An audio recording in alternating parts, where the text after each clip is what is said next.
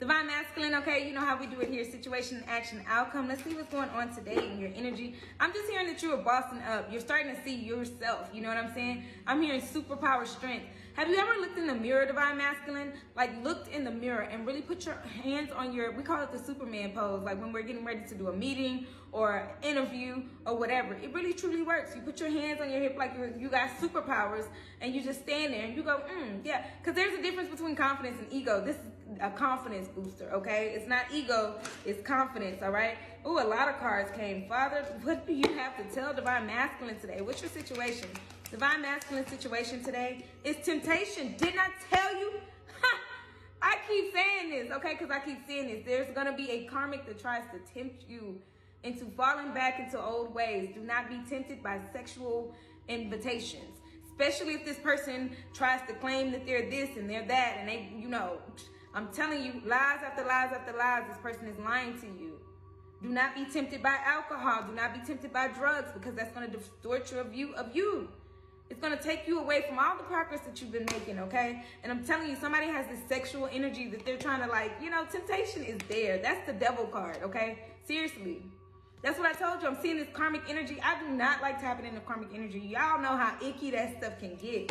So yeah, somebody is really, really being sneaky here trying to say stuff about you. Look, in your action is to stand in your power, divine masculine. Bam! I can't make this up. Oh my gosh. I'm just getting chills from this, okay? Thank you, Father. I knew he was going to come direct with you today because everything I just keep saying, I just keep repeating the same thing. Divine Masculine, it's time to step into your power. It's time for you to boss up, as I said. Your action is to boss up and stand in your authority. That means not getting tempted by this any kind of sexual energy, any kind of drugs, alcohol, whatever, whatever. Don't get tempted today. Because this is this person's last attempt to try to keep you around. To say, okay, well, I got a little something I can give you. And then before you know it, they're going to be lying, talking about they're pregnant. And then before you know it, it ain't going to be yours. And then, you know, you're just going to cause more delays. Do not cause more delays, Divine Masculine. Stand in your power, stand in your strength. What's the outcome here? Fulfillment of wishes if you could just resist temptation. You get everything that you wish for, all the happiness that you want if you would just resist temptation. Remember, y'all saw that in the channel messages. We got the uh, strength card as well, spiritual strength. Okay, this is all to resist temptation. Okay, this is all for spiritual strength. This is all about you walking away from a situation that just doesn't serve you anymore. You're one foot out the door. You're ready for this new beginning with your person. So don't get tempted into staying. Don't get tempted into going back to old ways, drinking, drugs, alcohol. Then before you know it, you're in somebody's bed. Look, this is a very fair warning Father is giving you. Bottom of the deck energy is destiny, okay?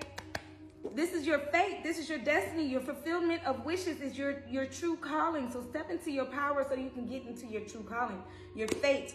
And then I'm seeing the number 10. 10, 10 is always about karmic endings. Allow this to end. This is fated to end so that you can get this new beginning. So don't go back on your fate, your destiny, okay? This is the Wheel of Fortune card. Luck is on your side here. You feel like every time you try to leave this person and, you know, they will pull you back in and they will pull you back in somehow. They will use the kids. They will use the money. They will use um, all types of things. They will use your family against you and all types of things, okay? I'm just seeing it. So now is the time. Now is the lucky time for you to go and get on out of here, okay? Get out. Father's saying, get out, okay? And you might be having a lot of dreams about your person lately, and that's your ancestors encouraging you that you can get the things that you wish for. Get out. What is the dreams, Father? What do you have for Divine Masculine in his dreams? Dances on one foot, the balancing act. There's a lot of things going on in your life. Nines, there are a lot of nines here. Nine, nine. And the uh, the channel messages, the nine was the strength card, okay? So it's, it's all about you just endings. Once you go from one to nine, you go back to zero. We're starting all over again, but this time in a better way, in a very balanced way. Dance is on one foot. You might have a lot of priorities right now, but with that being said, those are kind of clouding your judgment and your dreams. But I'm also seeing that you're still dreaming about a lot of beautiful times with your person here too. I don't know why I'm seeing that. I'm seeing that you're looking at your future here in your dreams, divine masculine. You're dreaming of your person. I don't know why I just heard late at night when all the world is sleeping. I stay up and think of you. So yeah, dream state. You might not even be sleeping very well.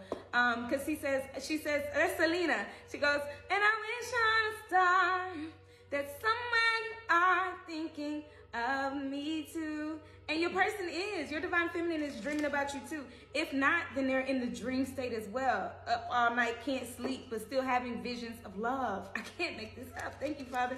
What would you like to tell your divine feminine today?